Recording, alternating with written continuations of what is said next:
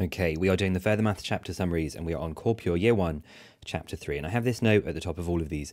It is not possible for these chapter summaries to cover all of the possible ways that you can be assessed on this topic, so please make sure you're using this just for a bit of revision.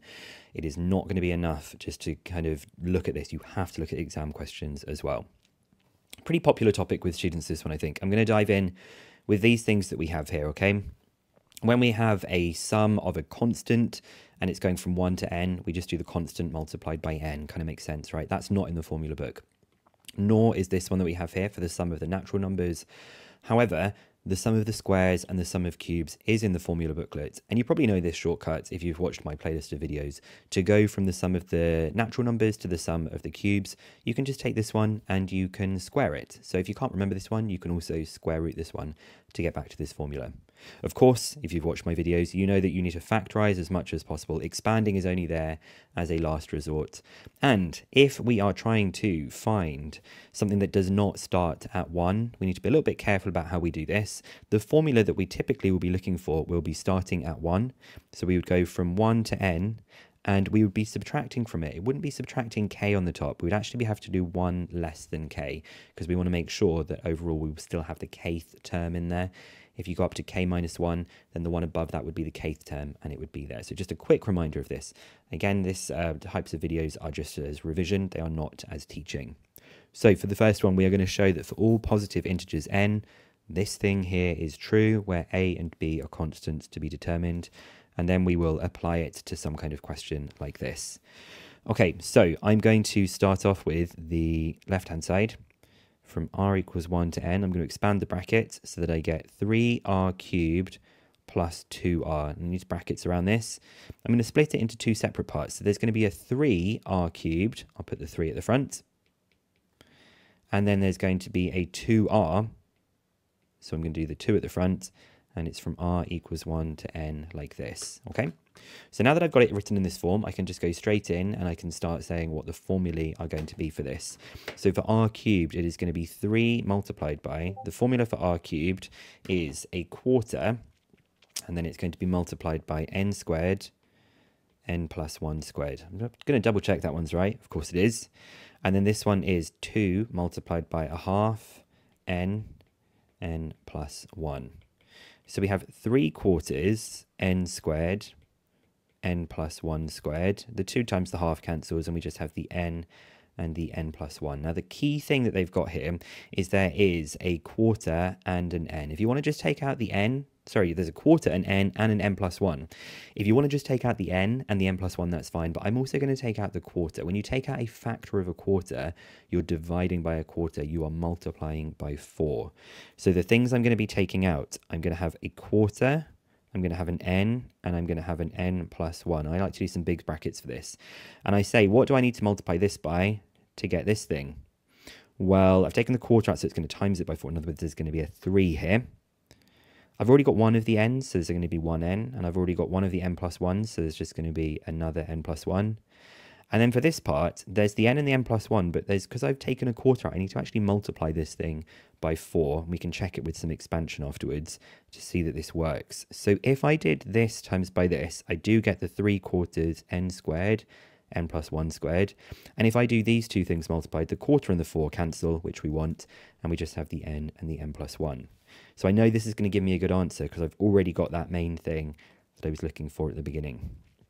So I have a quarter n, n plus 1, don't touch that bit. We then have a 3n squared plus 3n plus 4, which means that a is equal to 3 and b is equal to 4. We kind of know we've got it right because we've got those matching parts for a there. And then for part B of the question, we're going to be doing the sum from r equals 6 to 100 well, I'm going to just say it's f of r. I can't be bothered to write that out each time. To do that, I'm going to go from r equals 1 to 100 of the function minus the sum from r equals 1. What should the top number be? It's got to be up to 5, hasn't it? We want to do one less, like we said in this bit. So I've already got the formula is. It's down here. I'm just going to do it with 100 subbed in. And then I'm also going to do it with the 5 subbed in. So when I do it with the 100 subbed in, it is going to be a quarter times by 100 times by 101 times by 3 times by 100 squared plus 304. And from that I will subtract a quarter times by 5 times by 6 times by 3 times by 5 squared plus 3 times 5, which is 15 plus 4. And then it's just a matter of making sure I don't type anything into the calculator wrong. And that's easier said than done, really. So I'm just getting that first part typed in. And I'm going to be subtracting a quarter times 5 times 6 times by with my brackets 3 times 75 plus 15 plus 4. We have a very big number. We have 7, 6, 5, 1, 6, 8, 9, 5, 76,516,895. And you know what I would probably do is I would get my graphics calculator if I, or even on the normal calculator, I think it can do this. I would literally just type this in with the 6 and the 100 and I would very much expect to see 76,516,000 895, but that's 7. I'm just going to put it a bit closer like this. Okay? So next question is going to be a problem solving one that's kind of in two parts. We're going to start off by using the standard summation formulae. That's the clue in these questions that tells us we're going to be using those R formulae. We're going to find the sum of the first n terms of the following series, and then we're going to find the sum of the first 50 terms. Okay, well, it's not kind of written in sort of like R language at all, or even like nth term language. So I'm going to ignore the squares for a second. I'm just going to go back to GCSE and I'm going to think about 3, 7, 11, 15, 19, and I'm going to think, what's the nth term of this? Well, you should remember how to do this, right? This is going up in fours, so it would be 4n, and it's 1 less than the 4 times table, so it's 4n minus 1. Sometimes people say, what was the previous term? But whatever, it's 4n minus 1. But because they're all being squared, this means that it's going to be 4n minus 1 squared will give us all of these terms that we've got here. So for example, 15 squared is the fourth term. If I do 4 times 4 minus 1 squared, you do get 15 squared. But I probably won't do it with n, will I? Because there's going to be n terms in the series. I'm instead going to say, I'm going to use the r notation. So this is going to be my 4r minus 1 squared. I'm starting at the first term which is this one. I'm going to go all the way up to n. So I need to do a bit of expanding some brackets. 4r minus 1 squared is going to be 16r squared. You get a minus 4r and a minus 4r, and you get a plus 1 like this. So that's from r equals 1 to n. Same thing as before. I'll take the 16 to the front. It's going to be with my r squared. Gets very boring writing those things every time. I'll do the 8 and there's also going to be a 1, which is just the sum from r equals 1 to n. So being very careful with this, this is going to be 16 multiplied by r squared is a sixth n, n plus 1, 2n plus 1. That's literally just using the r squared formula that is over here, okay? I'm going to do minus 8 lots of the r formula, which is a half n, n plus 1. And this last one, the some from r equals 1 to n of 1, well, it's like the k one, isn't it? So it's just going to be kn or it's just going to be n. So let's do sum tidying up. 16 over 6, I think that's going to simplify to 8 over 3. So it's 8 over 3n, n plus 1, 2n plus 1.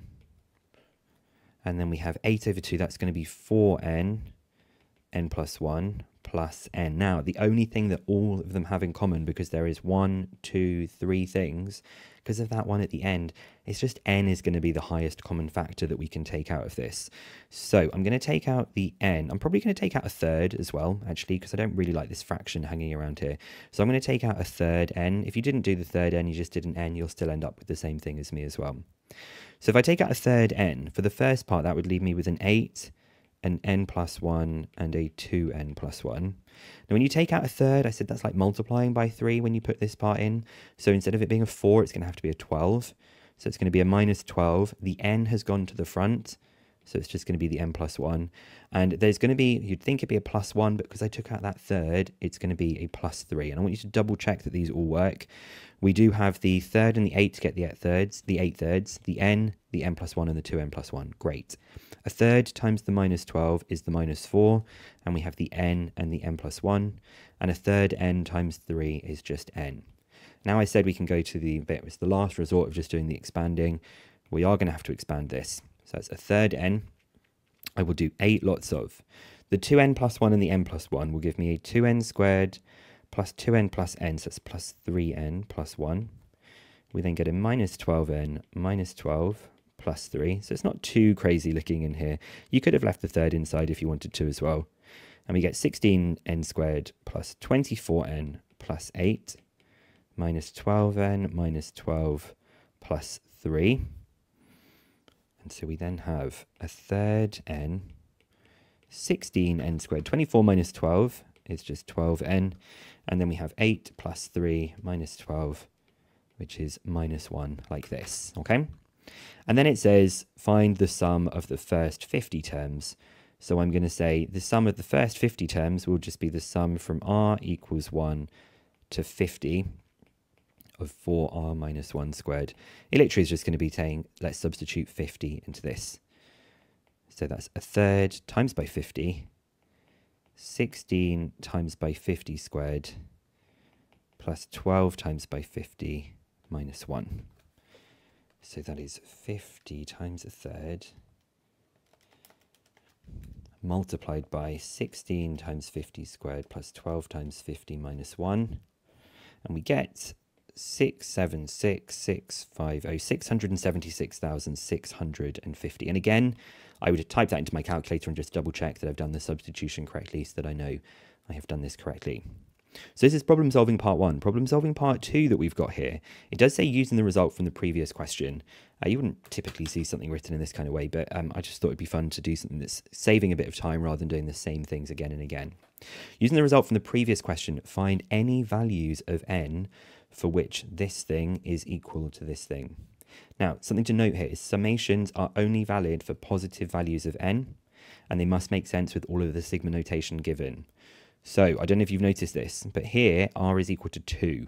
So that was one of the sneaky things I did in this question. That means it wouldn't make sense if n was less than 2. I, maybe it's not good with that small number. But if, if r was, say, 12, it wouldn't make sense to have the number on top as like 7 or 8. It has to be something that is bigger, 12 or bigger for that. So one of the sneaky things is the r equals 2, and we are going to be using this formula. So for the left-hand side, we will be doing the sum from r equals 1 to n of 4r minus 1 squared minus, well, because we want it to go to 2, we just actually want to get rid of the first one, right? We just want to get rid of the first term that is there. It's saying start at the second one. So start at the 7 squared. Well, I could use the formula, or I can just say, let's just get rid of 3 squared. So let's subtract 3 squared. That's the left-hand side. And the right-hand side is 5n cubed plus 5n squared plus 9n minus 9. And now I have the formula for this part now because this is exactly the thing that we calculated over here. So that is a third n 16n squared plus 12n minus 1 minus 9 equals 5n cubed plus 5n squared plus 9n minus 9. It's just the case of solving an equation here. Now I can add 9 to both sides and get rid of that. And also I can divide everything through by n. Now if you divide through by n, that means that n could be equal to 0. That's not really a useful solution for this. It doesn't make sense that n is going to be 0. How can you start at 2 and finish at 0? So even though we are going to cancel by n, we are going to just end up with this. It's not going to be an extra solution. So I've cancelled out the n on the left-hand side. I'm going to cancel out all of the n's over here like this. And I'm going to get rid of that third by tripling both sides. Oops. Didn't have that n in there. It's going to give me a 15n squared, a 15n, and a 27. So it's just a quadratic, right? I'll do 16n squared minus 15n squared. That is just n squared. 12 minus 15 is minus 3n. And minus 1 minus 27 is minus 28. Now you can either put this on the calculator. I think this looks pretty straightforward to factorize for this question. I think it's going to be an n minus 7 and an n plus 4. Yeah, minus 7 plus 4 is minus 3. Minus 7 times 4 is minus 28. Which means that n is either equal to 7 or n is equal to minus 4? Well, we talked about this earlier, didn't we? It's only valid, valid for positive values of n. It doesn't make sense in the context for it to be a negative value. So I'm going to reject this one and just say that n is equal to 7 is the only solution that we have for this question. Okay, it's the only value of n that will make this true. And if you wanted to, you could substitute it in on your calculator. You could put that on the left-hand side. You could sub in 7 to this, and it should come up with the same expression that we've got here. Okay, so series is a pretty short topic, um, but I'll be hoping to see you in another video for some of my chapter summaries soon. And I do run something called the Bicen Maths Award every year. If you are interested in winning a scholarship from me with £150 and potentially um, a graphics calculator as well, just go on YouTube and search for Bicen Maths Award, and you might see if it is currently open, something you can apply to. Thank you guys so much, and I'll see you sometime soon. Thank you.